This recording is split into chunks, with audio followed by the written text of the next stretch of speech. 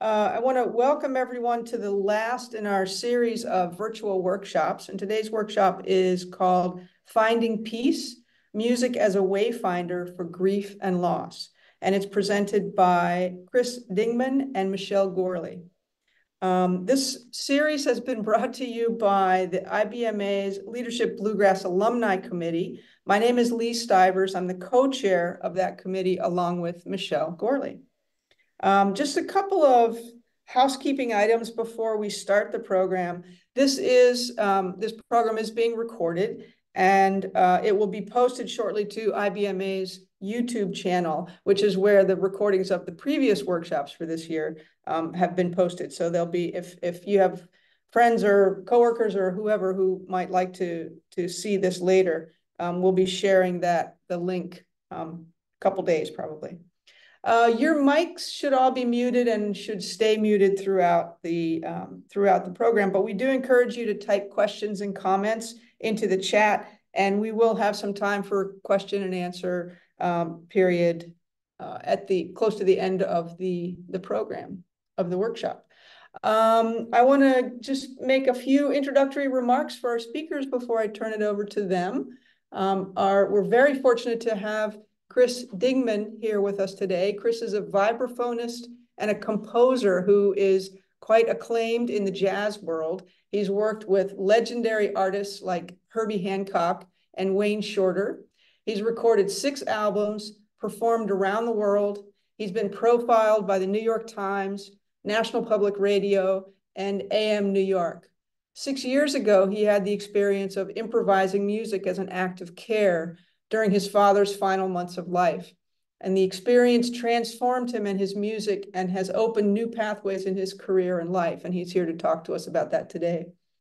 Um, our other speaker and facilitator and the person who put this together for us is Michele Gourley, um, as well as serving as the co-chair of IBMA's Leadership Bluegrass Alumni Committee. Michele is a musician, a writer, a chaplain, and an assistant professor of medical education in New York City. And with that, I'll turn it over to Michele. Right. Well, thank you, Lee, for that introduction. And I just want to thank each of you for being here. I know this is um, not always an easy topic. It may bring up different feelings and memories for you. Um, but I also want to acknowledge too the losses this group has experienced over the past four years. We've lost several members of our bluegrass community who've been really pivotal, pivotal in creating and preserving this beautiful form of music, which we love. I know a lot of us have also had personal losses.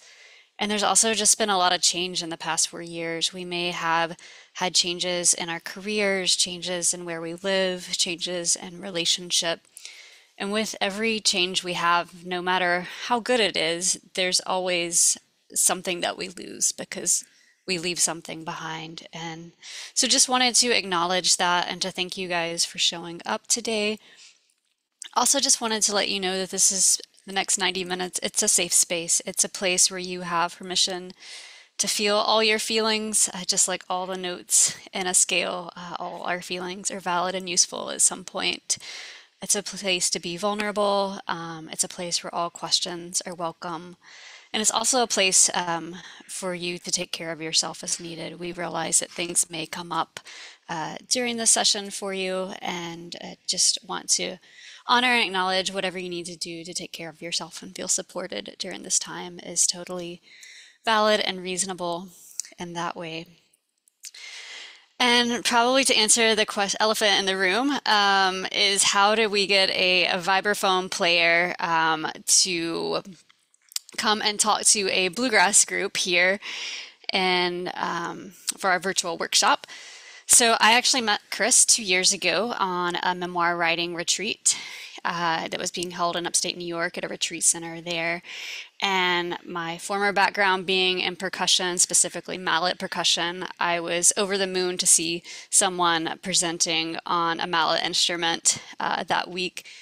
So got to experience, as you will today, Chris's uh, lovely performance, and also and that learn about this um, journey he take he took with music with his dad, and um, you will also get to hear about today And so then a few months later, when I was helping to create this new elective for medical students around death and dying using the arts, um, it was just a no-brainer to have Chris come and talk to us and to be so. The past two years, he's come and presented to medical students and really gotten to learn about this unique journey he's taken. And so, thinking about all the loss that we've had for the bluegrass community um, and wanting to hold space for that, it seemed like a no brainer to bring him in to talk to us today. So, just wanted to thank you, Chris, for being here and joining us. And uh, with that, I guess we can start off with just telling us a little about how did you end up on this journey? How did you end up from doing all the things that Lee told us about, playing with all these jazz greats, to um, playing music um, at retreat centers and talking to medical students about death and making this album with and for your dad? Thank you so much, Michele. And yes, um, it's uh, not maybe not where I thought I'd end up in my life uh, doing all this work, but it's so rewarding and wouldn't have it any other way. So yeah, a little just a little background. I grew up in San Jose, California, and grew up playing. I loved music from an early age. Grew up playing piano and drums, and got into jazz in high school. Um, but vibraphone was not on my radar at first aside from just having heard it it wasn't like a something that was modeled that you could just do but when i went to college uh, there was a professor of vibraphone jazz vibraphone there i went to college at wesleyan university in connecticut and wesleyan's a place where there's a lot of kinds of music and i was exposed to a lot of different ways of creating and uh, uh, interestingly, I wasn't totally sure if I was going to pursue the music path in my life. And I was into drums, vibes, not really sure about much. And then one summer, when I went on a study abroad program to India, uh, I got a call from my parents while like a week after I got there, saying that a, a close friend had passed away, and so it was loss that kind of woke me up to what I really felt like I needed to do. And uh, my friend who had passed, who wasn't a musician, he was very creative though, and I knew that he always pursued what he wanted, and I wanted to like honor that in my life by doing the same. And I knew that I wanted to play music, and at that time, that's when I realized I actually wanted to play vibraphone. um, was very far from a vibraphone at the time, uh, but came back and and applied myself very hard to learning jazz vibraphone. and after a few years, auditioned for the Thelonious Monk Institute of Jazz and uh, got in. And that was where I met Herbie Hancock and Wayne Shorter and Terence Blanchard. And uh, studied with all of them and got to perform with them around the world and um, quite a life-changing experience also during that time i it was a stressful time also being you can imagine and uh, you know really being grilled hard because the standard is just people come in that in that program and just expect you to play on the highest level and here I am. I've only played vibraphone for five years, so I was cramming. and halfway through that program, I I I had meditation had been something I was looking for, but I hadn't found quite the practice that would work for me. And then I went and did a Vipassana meditation 10 day retreat. And that was very life changing as well. Um, and when I came back to my life after that, things had changed a bit. And I found that music, there was an impact it had on my music, on creating music. And I felt like there was this opening of making, especially in composing, I was noticing it. Um, so that was something that came up at that time. Um, when I went on to, I moved back to New York after that program and, you know, as one does, you know, tried to be a jazz musician. and uh, I'm sure an easy thing to do here in the city. yeah. I mean, it is, it's, it was and still is a hub for jazz. And, but it's a hard, city, you know, it's, I think it's a hard thing to do anywhere. Uh, New York's an expensive and busy place, and there's also, you know, also it's a very high standard of. There's you know, thousands of people trying to play jazz in New York, and only a handful who are successfully really doing it full time. So, as I was trying to do that, I managed to cobble together the funds to create an album, and had my compositions, and I was all excited. I released it, and you know i during all this time i felt like my mission with music was to reach people touch people move people in some way. But it, kind of the specifics of that were a little vague. I just knew that that's what i needed to do with music. And i released the album. And a lot of the like business parts about that were there was a lot of disillusionment that happened after that experience. I guess I it was interesting the more attention that it got it like it got a lot of press attention. It was reviewed in the new york times. I was profiled in the new york times. I got on npr all this stuff. And the more that that would happen weirdly like the more wrong it felt. I don't know how to describe. so it's like you were doing all the things that people say would typically make you successful but yet it didn't feel right. Yeah exactly. Yeah like that perception of success versus like what the actual experience was there was a real disconnect yeah and you know it took a while to work through that and feel like i still wanted to make music because ultimately my goals starting out weren't you know my the why of why i played music didn't have to do with like financial success. If I wanted financial success, I probably would have gone into a different field. uh, it would have been smart of me. Um, but of course, I want to be able to survive. You know, I, I think I did expect or hope to be able to make a living and be able to do what I want to do, which is very challenging. Mm-hmm. And so that those expectations had to get mitigated, and you know, the whole understanding of what success in jazz meant. Had, had to get you know i had to really work my head around that. And you know after i kept meditating and you know um, self-care and I, I do a lot of teaching still do always has have as an adult working with kids kind of like tapping into what that true inspiration of music is for me and why i do it. Mm-hmm. i you know kept right. I found a way to okay, I'm going to get back on this and keep writing. So there were times where I think the the disillusionment kind of got in the way of making music, and um, that's when I started writing for like, okay, let me focus in. Let me try to do it with a smaller group. Um, maybe I can do more solo. I started interviewing people about solo music. You know, how do you make solo music? Is something I was a bit afraid to do at first for a while and then i did have a practice of like in my practice sessions opening up by recording solo music.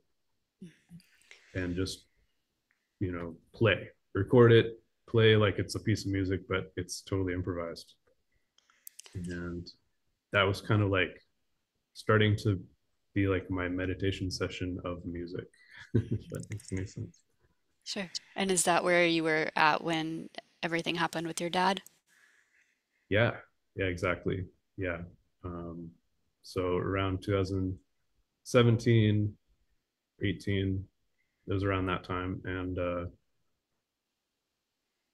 uh, interestingly, my mom had been in the hospital and I uh, had recorded some music for her because she didn't want any visitors. Um, but I wanted to, you know, show her some care. So I, I recorded some some of these improvised tracks, and I tried to like just infuse them with love and send it to her.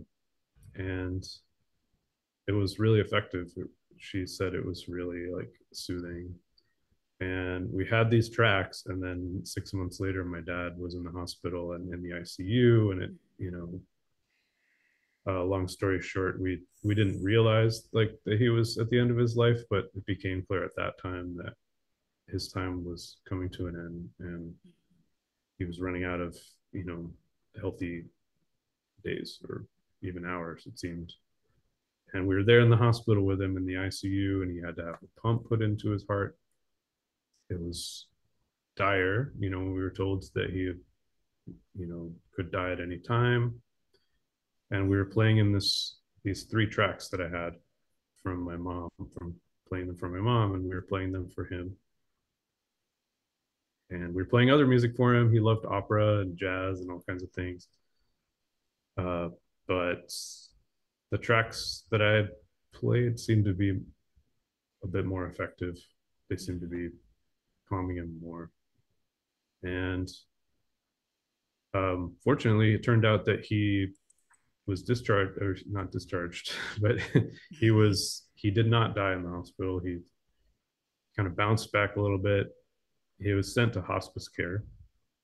So we went to a hospice inpatient unit, and then he was discharged from there because he wasn't immediately dying. It turned out, um, but um, so he was sent to home hospice care, and that's where I had the chance to play for him, mm-hmm. um, and bring my vibraphone and, and play it at my parents' place in Pennsylvania, and um, where they had moved yeah.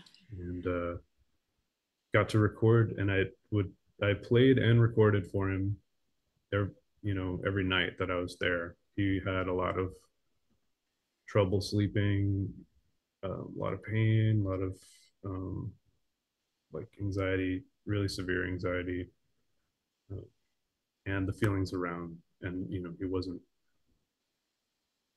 a lot of coming to terms with the end of his life, which um, you know, he wasn't really thinking before he had been in the hospital that he was about to die. So there was a lot to come to terms with about that.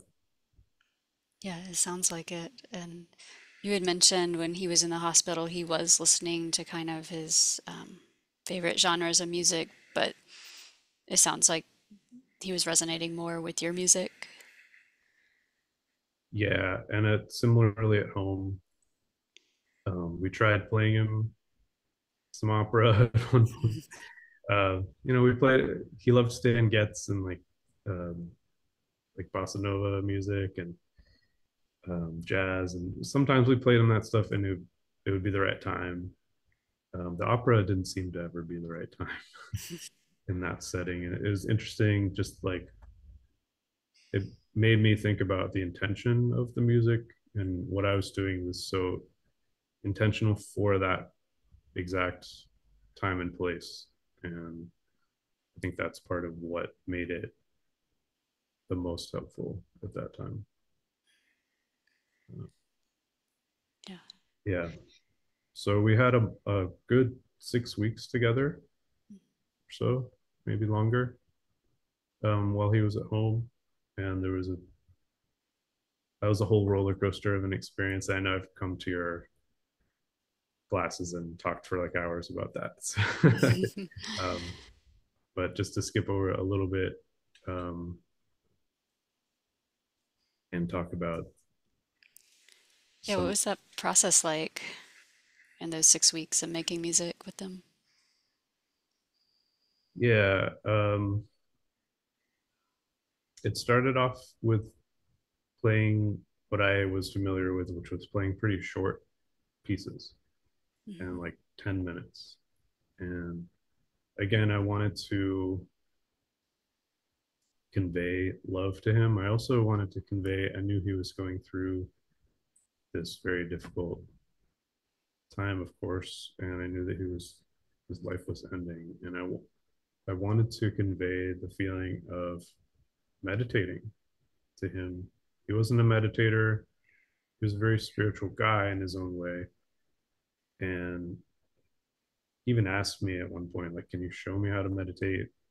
Um, and it was a little challenging to find the time and place to do that. But with the music, I just would enter like more of a meditative space and play from there. And over time, what that did was kind of elongate the tracks, also out of need for the tracks to be long so that um, to give my mom a break a little bit and so to help you know help keep him in that space for longer. Um, the tracks became longer and longer. Instead of 10 minutes 20 minutes 30 minutes and then eventually 40 so all this was recorded and i put the music onto cds for him he had a cd player next to his bedside. And he would just anytime he would wake up in a panic or feel a lot of pain or anything or just need some reflection time he put the cds on for himself when i wasn't there playing already. He would use that. After about a month of that he we started talking about it and uh, at one point um, you know I, I walked into the room after you know in the morning and I heard the last track of of the last CD playing and ending, and he was like, he was like, good stuff, and uh, and he was like, that was I just listened to all five hours in a row. Wow, so you had five hours of music you had created during this process. yeah, at that point it became uh, five hours, and and we started talking about the music, and he was voicing a desire to share it with others. And um, he was a marketing guy, so he was coming up with like a marketing and he wanted to, uh, you know, he wanted to share it and make an album.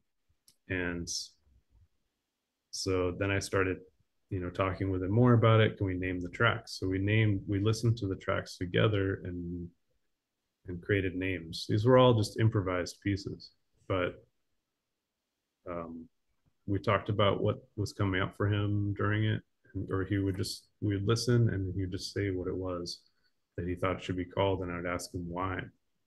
And you know, some of the tracks were things like um, Sky. He and asked him why. He said, "Well, it reminds me of a game I used to play as a child. I would look up at the sky and see the clouds, and Mm-hmm. you know, try to make make shapes or kind of create what they're make a story out of it."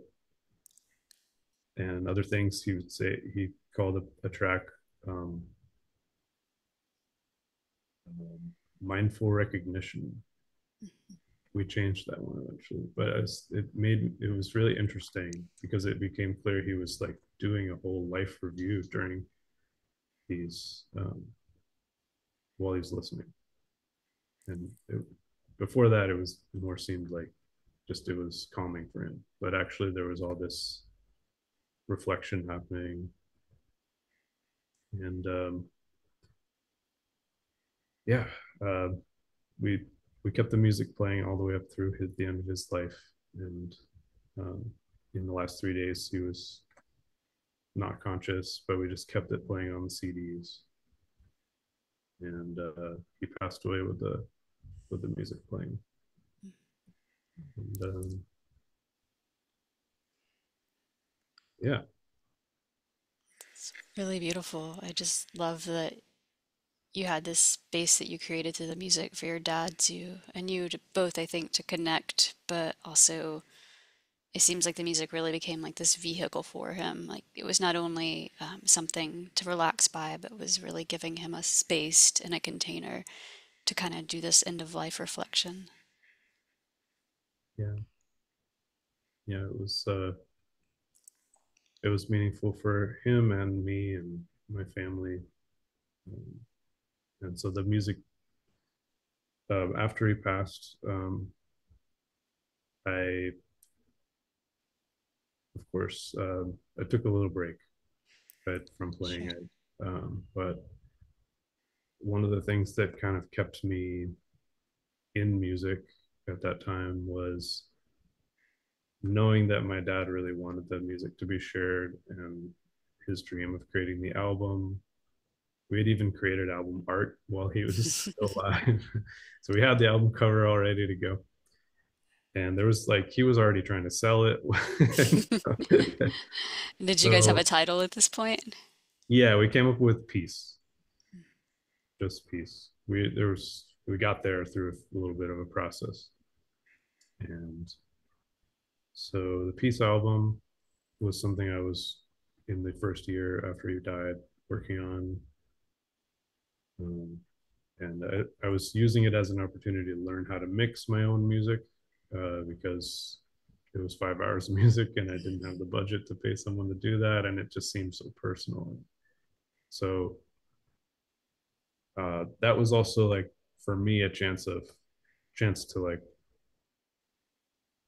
it was a processing place for me. It became that as I was producing the music and mixing it. And I took I took a full year to do that.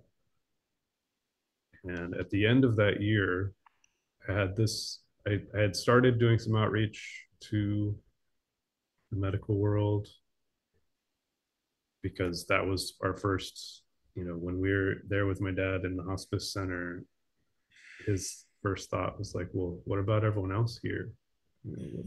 And there were a lot of people there without visitors. And yeah, the hospitals can be lonely places at times. Mm-hmm. So we wanted to find a way to bring the music to the hospice. And so I started doing some outreach and it just sort of like every time I would contact someone, it would sort of like lead to like five different places instead of just hospice. Yeah. And you had asked about like how did I come to start doing all this other work. That's kind of that was the beginning of it for me was that type of outreach. Yeah. yeah. And so thanks for sharing all that. And so you've just gone through like this intense journey musical journey really with your dad and also I'm sure emotional and it sounds like even spiritual journey. Um, did that or how did that change your relationship with music? It sounds like it was already starting to shift before your dad's experience, but I'm just curious as to what that did it continue to shift or what effect it had on you? Yeah. Uh, yes. I think it I think the change was instant in that experience and it was like a period a process of catching up to what happened it was such a pivotal i mean of course anyone who's been through a major loss you know how how life changing that is in and of itself and then to have this experience playing for him and i actually think just yeah for me spiritually there was a a, a big change in doing the process of playing and trying to convey the meditation to him. There was something that happened where my meditation practice and my music practice like converged mm-hmm. and um, it was never the same after that. I can imagine. It sounds like a really transformative experience. Yeah. And you had mentioned earlier um, you were earlier in your career as a musician, you were doing kind of all the right things. We talk about in music. Like you had like played with all the great people, you were getting recognition from all the places, but it just didn't feel right. Did this experience kind of give you clarity or insight regarding that kind of discord that was happening? At first, it gave me inner conflict.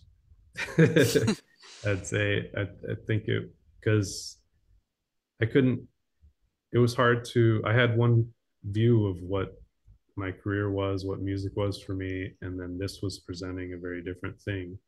There were th- times prior to this experience where I thought it was in the back of my mind I wanted to play for people who had who are dying, and it was I I had been looking into it and I couldn't really wrap my head around it at the time. But even had people had contacted me and said this music really helped it was you know my jazz music compositions uh, that like helped someone who was in near the end of their life and it, that was very meaningful for me. So this was something I was interested in, but was, having the experience then like opened up all these questions for me about like, well, where am I going? Am I gonna go do a music therapy degree? Am I gonna quit and become a social worker? What am I doing? you know, and uh, um, over time, it became a little more clear, and through the experience of playing trying to play this way in like a concert setting i think that was and i didn't really have the chance to do that very much i i did it like once or twice and then the pandemic hit. Mm-hmm. the pandemic yeah. had its, its own effects yeah, uh, it's quite a, a life-changing experience for all of us. Yeah. Yeah. And um obviously i was i had to play solo at that point. There was no option to play with others for quite a, quite some time. Mm-hmm. and so then i um, actually recorded a ton of music during that and created a series that people subscribed to and then they they voted on their favorite pieces. There were like 80 of them and then those we created the albums journeys volume one and two of that. And then also during that time i got into playing mbira music from zimbabwe. And that was very impactful for me too. So it sounds like it just really started taking you off in these different unexpected directions. Um, what do you think are some of the maybe key takeaways or surprises or lessons you kind of learned along the way in navigating this loss or this journey with grief and loss, uh, especially related to your music? Yeah. Um, yeah. Um, yeah, it's grief. I didn't know what to expect. I think I had been through you know losing my good friend, and that had a huge impact on me. Um, but this was very different, and I think some of the challenges of grief for me have been like the ways that grief comes out in a way that you can't recognize what it is. Um, like, for instance, physical pain or actual like physical debilitation, which at one point I like had a hard time walking. Mm-hmm. You know, shortly after my dad died. Um, uh, really like being hard on myself in ways that seemed totally unrelated. Um, only coming back to like feeling guilty, and I didn't realize why I would feel guilty. And um, I do remember feeling a lot of fear, almost like I heard a sound in the night and I was like afraid. And so some of these were a little more obvious to trace back, but it was like all these. It wasn't like always direct, and um, even sometimes like anger or resentment about things that had seemed to have nothing to do with my dad. That turns out, you know, I could like trace it back to that after a while working with a therapist. Um, but one of the things that always seemed to help me um, was music and listening to to music. Um, there's a couple songs still that, for whatever reason, um, every time I hear them, it's just like tears. and uh, for whatever whatever it was, that's like what tapped into it for me. And I still can't even fully explain it. I feel like, but um, that's the mystery of music is like we find like that mirror of ourselves in what someone else has created and and then also creating creating my own music. And uh, one thing that happened after a year of making you know while i was uh, finalizing the peace album i had to listen through the whole thing. And at that point i'd listened to it so many times. Um, felt like I needed something to do. So I started writing. Mm-hmm. And what came out of it over the course of a whole night was just, it blew my mind. Like all these things that came out, all this writing. There were, you know, poems, reflections, cries, prayers, like all these things that were came out of it. And I ended up writing a bunch of songs using those words, um, which I hadn't done before, but I found it really healing It's really beautiful. You reminded me of I took a class on trauma and resilience years ago, and they were talking about the arts being this kind of buffer zone or safe space sometimes to process trauma and suffering. Like it might just be too overwhelming to actually state it or to think about it. But this medium of having art, whether it's writing or music, kind of gives us this safe place to play with our feelings and emotions. And like you were saying, sometimes um, grief comes out in really unexpected ways, like pain and anger and and other feelings like that. Totally. Yeah. Yeah, I like that way of thinking of it as like sometimes you have to come at it sideways because like the direct thing, it's like we're protecting ourselves from feeling that. Um, but hmm we also need it. We need to feel it for it to come out in a way that's not harmful for ourselves or others. For And sure. yeah, so having that outlet, whatever it is, and I know it's different for everyone.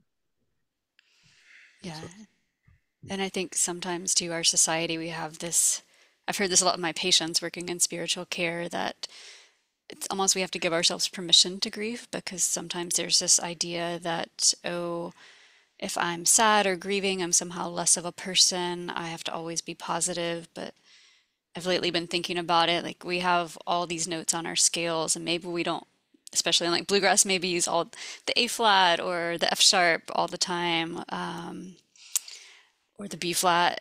But if we don't ever use those notes, our music is going to be less interesting. If we're always just playing the same three or four notes, we now have access to all 12. Um, it's never going to be quite as interesting. And our feelings and our emotions are kind of like that too. It's like, do we always need to be sad and grieving? Um, that probably wouldn't be healthy, but we have those emotions and feelings there for a reason and purpose. And um, mm, yeah, I think that's a really interesting point. And um, yeah, I, I found it hard to like let go of like for a while I felt like I needed to be sad. And when I wasn't, I, I was giving myself a hard time about it. And uh, that was creating some some difficulty for me. Um, so just yeah, I like that idea of like thinking of one's lived experience as a the chromatic scale. You're not going to want to play all of it all the time. all the time, but you probably want to change keys sometimes. And yeah, Yeah. Maybe not throw in a bunch of tritones, but maybe it's nice to have it in there every now and then. yeah, yeah, definitely. Would you have any, um, for other people who might be going through similar experiences, is, are there any thoughts or suggestions you might have for them?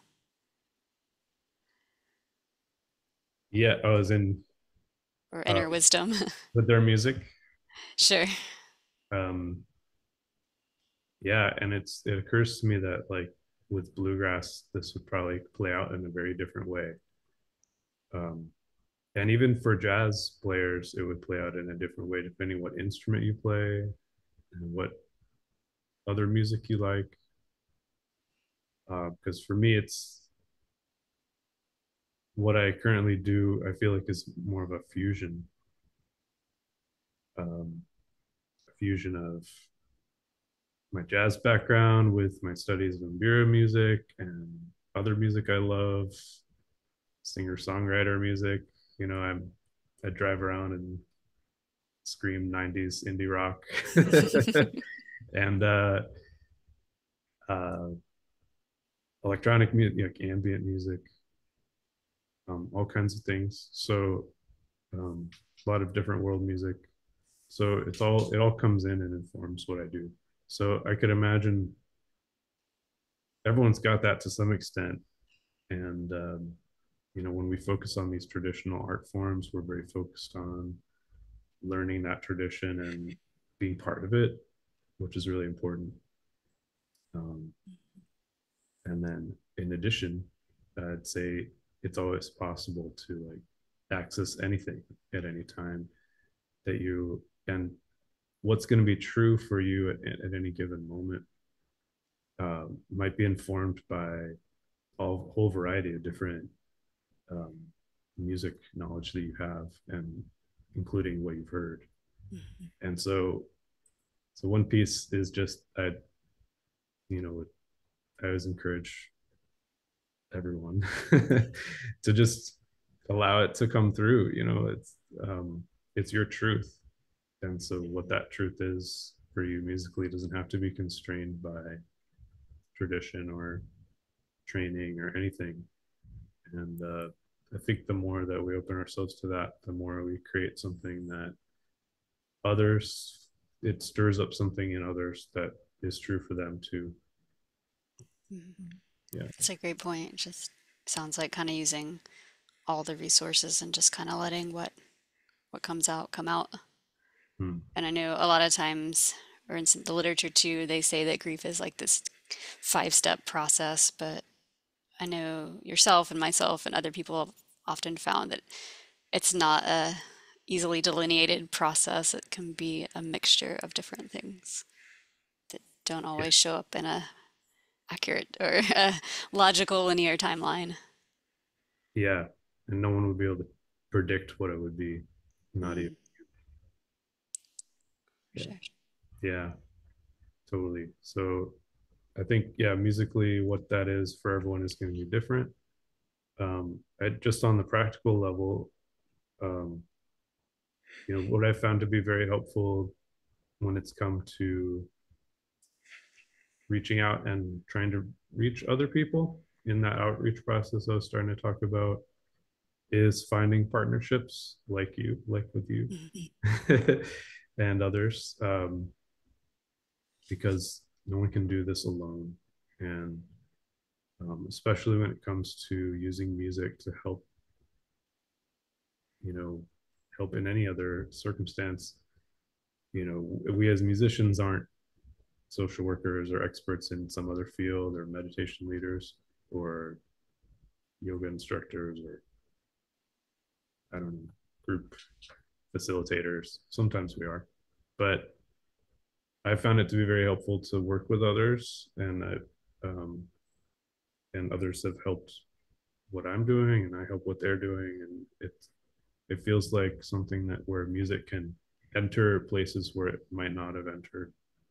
Uh, we're often in our world our bubble of you know festivals or clubs or wherever music happens um, and it's very meaningful there too but um, there's some i always love playing house concerts Mhm. because it feels like whatever barriers that are there like social expectations or whatever that happen in those music spaces get dropped oftentimes in house concert settings and it's like a different it's just like you're there hanging out with people and sharing music and it has this different impact Mhm.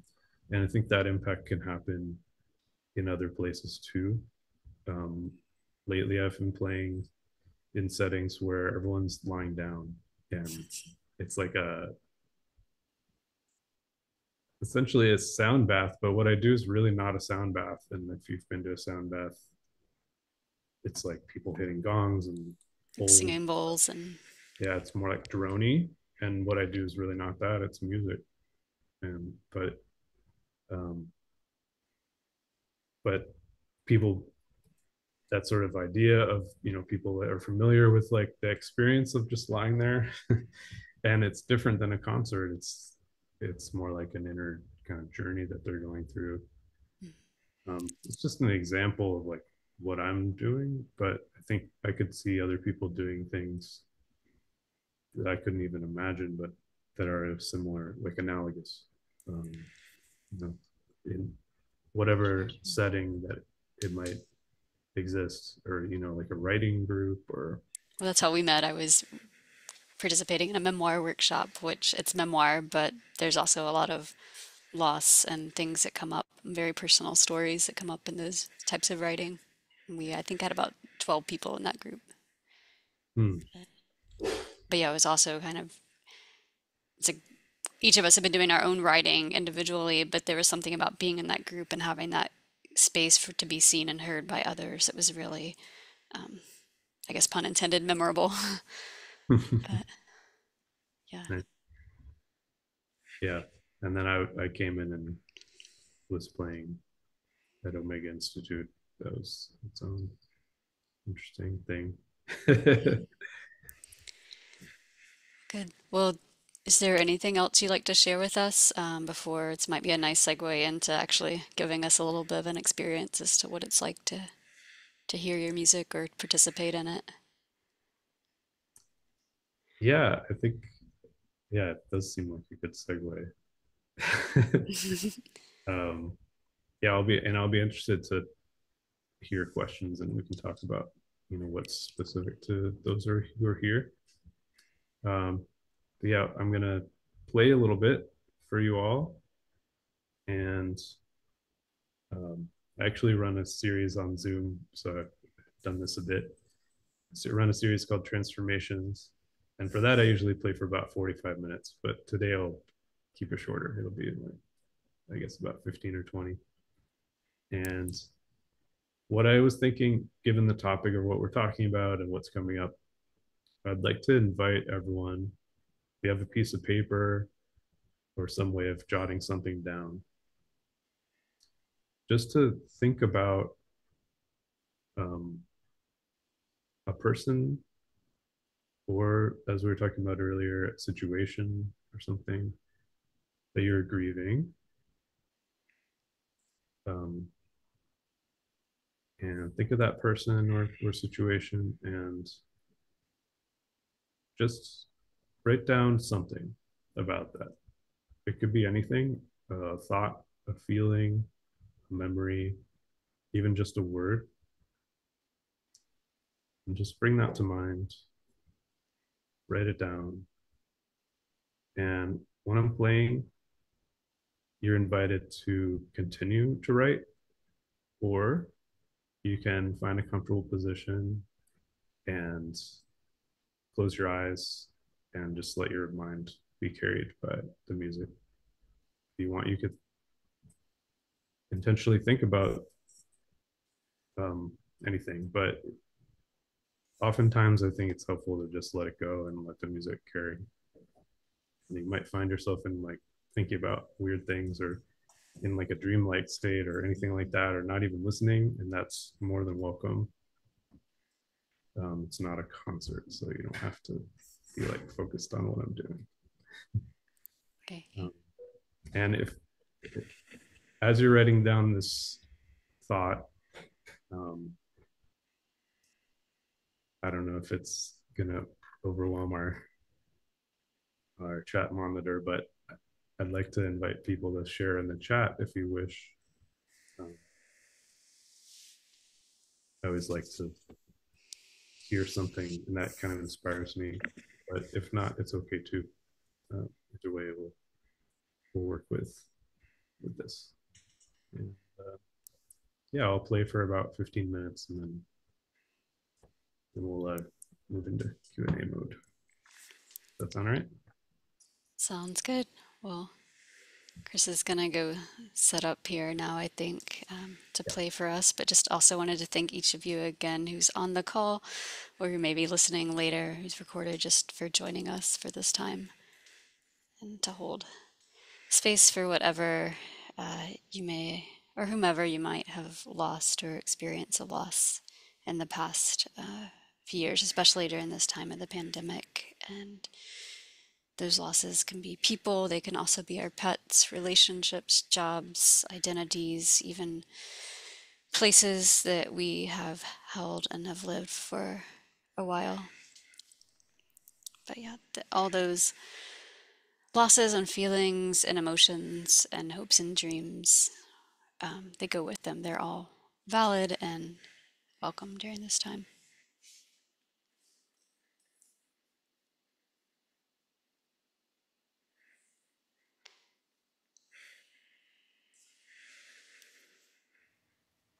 And we don't have to mention that Bill Monroe might be turning over his grave right now and saying that ain't no part of nothing, that there is a vibraphone on a Bluegrass Virtual Workshop call right now. but we'll just offer him and all the others some grace right now. Who knows, next time maybe we'll have a, a banjo moment like this.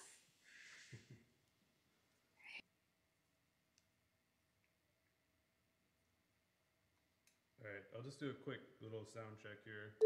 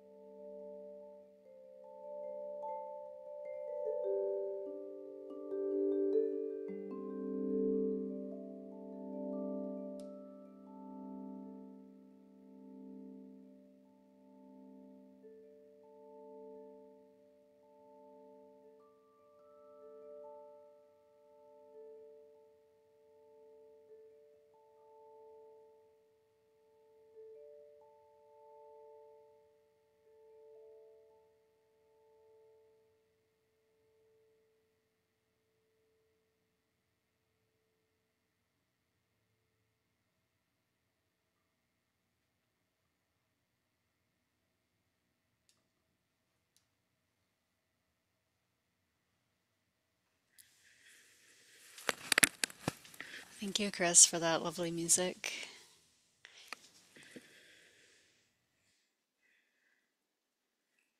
I'll just invite everyone to come back from wherever they are, whatever position they were just in, wherever that music took them.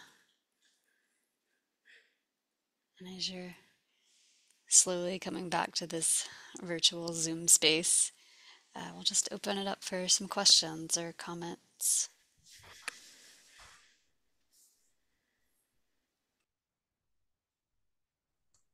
It's Michele. Michele, we do have a question um, from Lori. She says, Thank you for sharing your journey. Have you been able to use your music to lift your emotions in a positive way since the loss of your dad? Thank you for that question. Yes, absolutely. Uh, I think, especially during the pandemic, but I, I think this whole time, except except for maybe the first the first few months after he passed, I had a really hard time playing. But following that, I actually did like a monthly vigil, um, marking the after every month that had been since he had passed. I played for an hour, um, just for myself, lit a candle and would play, and, uh, and then started recording. And but through this whole thing, um, it's a really interesting phenomenon. Um, I don't typically feel in my normal life like a terribly optimistic person. but when I'm playing and in the course of playing, um, there's like a feeling of hopefulness that comes through and a feeling of like, um, I don't, know how to describe it. Um, and I, I think that's what there's like a reassurance in some way that happens through the playing process for me that uh, um, is very healing for me. Uh, uh, that's part of what I why I want to keep doing it. and I don't really know where that comes from. Yeah. It's an interesting part of it. It's not like something I'm like feeling beforehand. I'm like, okay, I got to do this. It's like I open myself to it and then it comes through while I'm playing.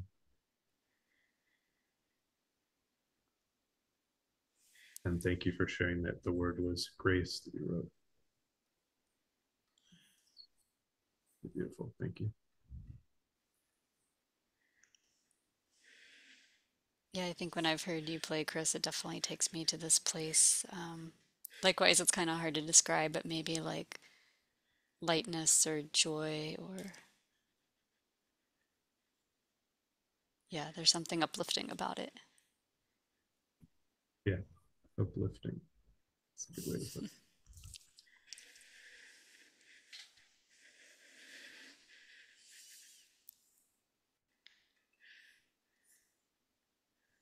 Oh, it looks like we have another question in the chat.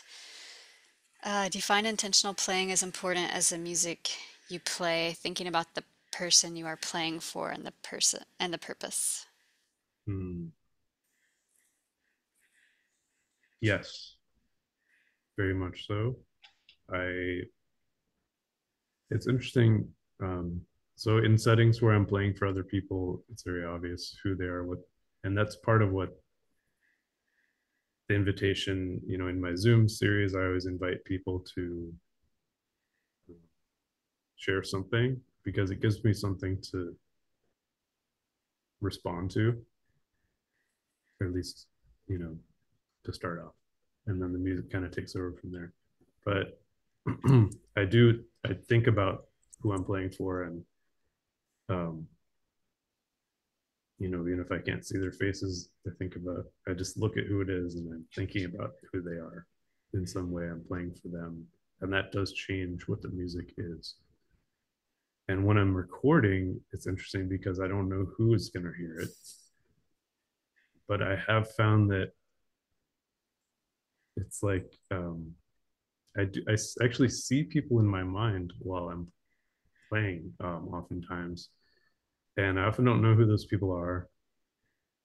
And when I'm recording, that happens a fair amount, and so that, um, usually there's not a direct intention with that aside from let come let whatever comes through come through and follow it and try to execute it the best I can. Um, so I mean, it's a process of like listening, inner listening, um, and just following. Try to let the music play itself, and there's something to do with like who it's going to. I know that, but uh, in the recording process, it's a little more, a little more mysterious. So it's pretty interesting. And I know Catherine mentioned that she felt a strong sense of forgiveness come through for her when you were playing. Hmm. So that. Thank you, thank you, Catherine, for sharing that.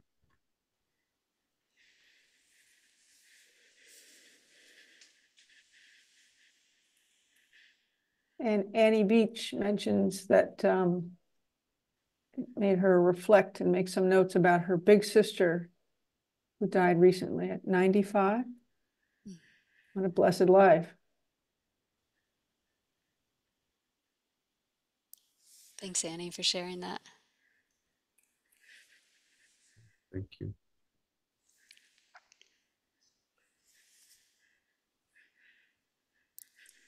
Are there other questions people are holding on to?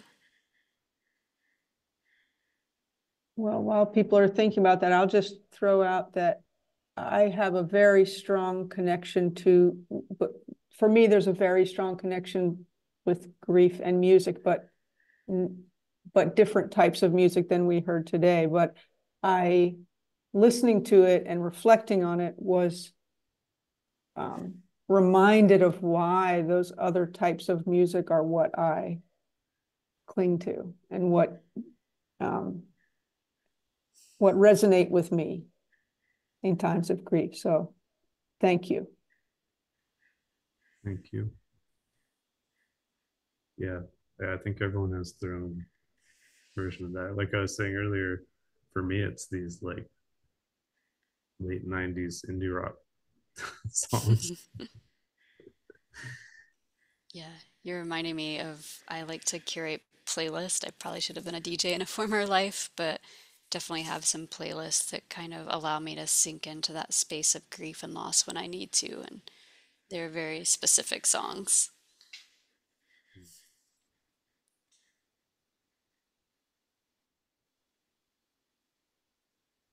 Yeah, it's made me want to write songs like that, but I don't know how. I guess I wrote my own version of it. I do have some songs. Yeah. Yeah. I've somehow ended up writing lots of songs about grief and death, but I don't know where they come from. Yeah. yeah, and they're very moving to me. Well, thanks.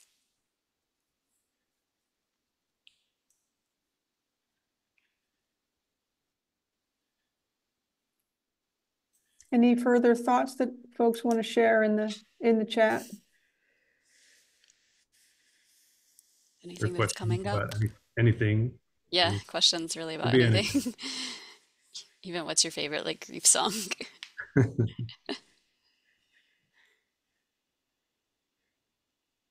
Yeah, you're reminding me of that. Um, when I was in med school, I was having some, going back to your comments about like you were having weird physical symptoms or things coming up for you and you didn't know where they were coming from. And I had a similar experience when I was in medical school and went to see my doctor and we were looking into like maybe some side effects from some things and but he was also like maybe you should go talk to someone because of all the things you're going through and so I did and the therapist almost immediate was like yeah, you have unprocessed grief from these things and you have to go process them. And I was like, well, how do I do that? I don't know how to just like go grieve on demand. He's like, just whatever helps you. And I remember there was um, also had a loss in when I was in high school of a close friend through an accident. And there was um, a Steven Curtis Chapman song that had just come out, I think called With Hope, that had somehow really moved me to tears at that time, I think because of the connection.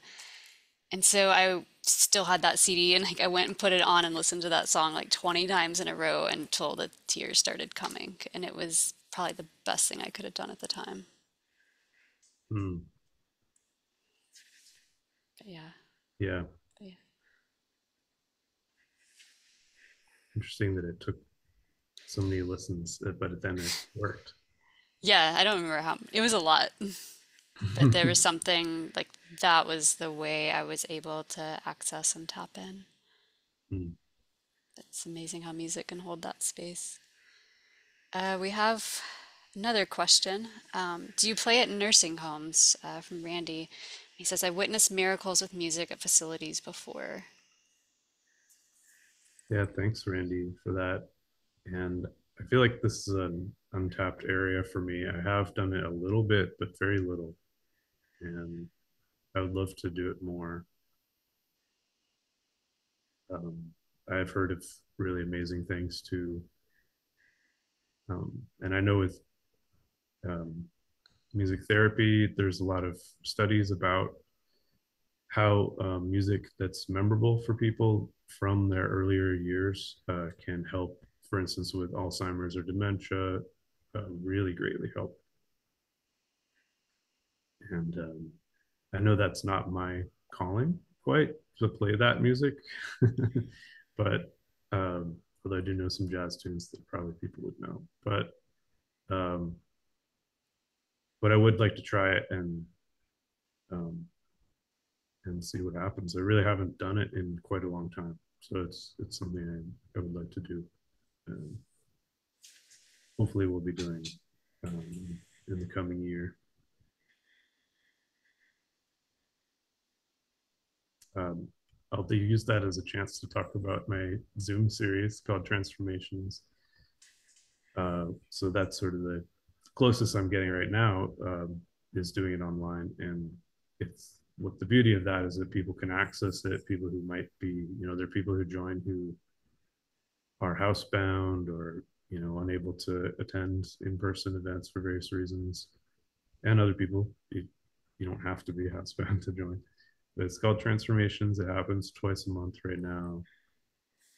Um, it's sponsored by a group called Connect.Faith.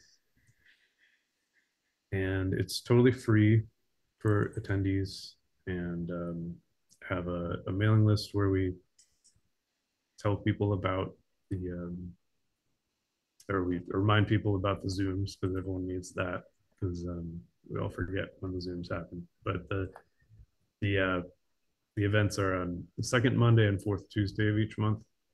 And the Monday session is an evening one, and the Tuesday one is midday Eastern time. Um, so I'll see if I can share in the chat like this the sign up.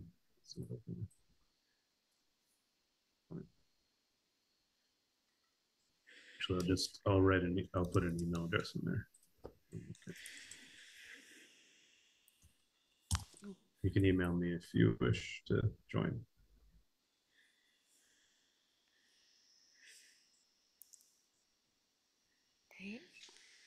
Well, thank you again, Chris, for taking this time to talk to us. Uh, do you have any last thoughts or? Well, where I was going with that partially was um, yeah. the series is expanding, and I'm hoping that to be able to reach people in nursing homes and also hospice and other. Uh, we're actually hoping to start a uh, series that's focused on grief, kind of like what I did today. Um, so that's all in the works also. Yeah. Sounds exciting. Exciting in its own way. For sure. Yeah, yeah, I always, I guess, being in the chaplain spiritual care world, I say things like exciting about things like death and grief and loss, but maybe that's not quite the right word. yeah well it's it's beautiful to be able to help people in that way mm-hmm. thank you for what you do thank you sure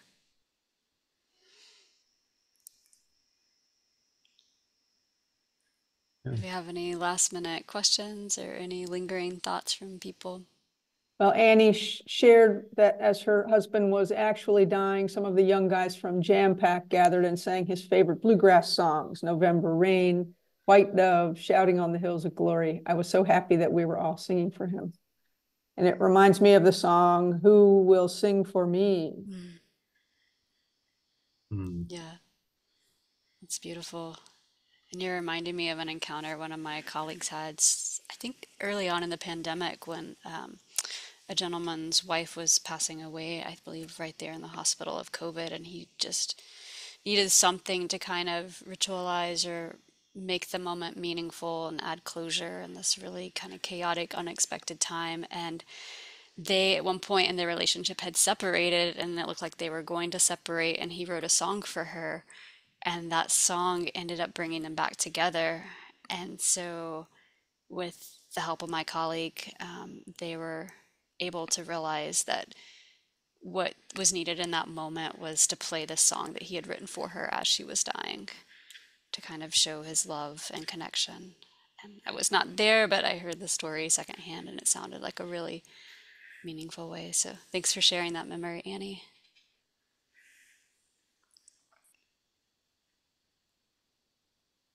Yeah, that's beautiful. And I always love hearing the different ways people use music. At the end of life, it's it's always like it's different for everybody and so suited for who they are. Mhm. Yeah, I think dying like grief, I guess like life, it's like it's each one of us has our own creativity we bring to it, and there are templates and maybe options, but we each kind of bring our own um, flavor or influence to the moment.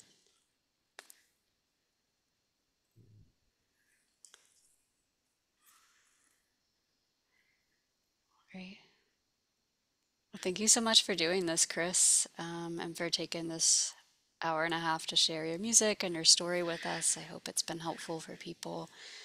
Um, and if anyone has anything that comes up um, later on, I would say definitely feel free to reach out. I know some of you um, are not able to listen in real time and we'll be hearing this later on, but yeah, I'm sure both of us will be open to any questions or things that might come up later on. And thank you um, from the whole Leadership Bluegrass Alumni Committee and the IBMA community. Thank you, Chris, and thank you, Michele, for, thing. for doing this session today. We really appreciate it. And what a, what a beautiful way to wrap up our virtual workshop season of this year. Thanks for everyone for attending. And again, this will be recorded and on, on the IBMA YouTube channel and um, look forward to putting together another season of workshops for next year. Bye, everyone. Thank you. Uh, thank you.